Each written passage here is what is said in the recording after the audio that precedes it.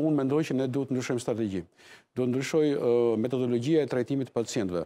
Për mendimin tim nuk i nuk i do lëmë vetëm spitaleve për arsye sepse ata tashmë ndodhen në kolaps dhe ne duhet të përqendrohemi tek protokolli i trajtimit në shtëpi.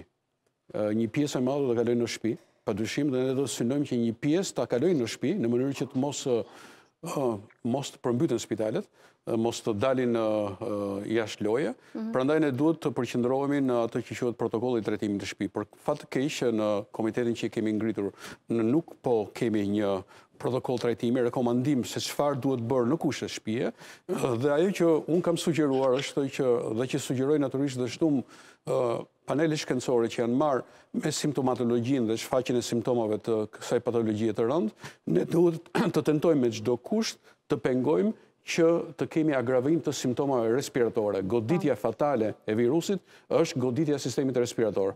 Prandaj, fillimi sa më parë i oksigjenimit, edhe në kushte shtëpie.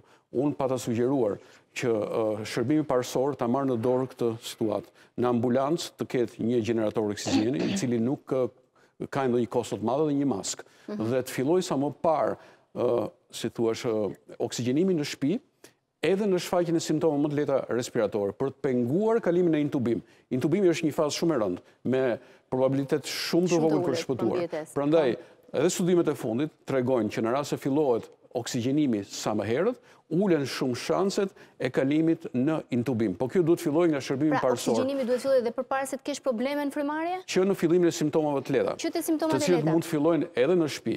Edhe në shtëpi, praktikisht me duke njoftuar numrin e emergjencës, shërbimi parësor që vjen mos të vijë vetëm për tamponin, po të vijë për të dhënë dhe ndihmën e parë, pra maskën e oksigjenit dhe gjeneratorin e oksigjenit, pra kjo dhe sipas studimeve më të fundit tregojnë po të fillojë sa më parë të fillojë oksigjenimi, aq më tepër ulen shanset për të degraduar në intubim.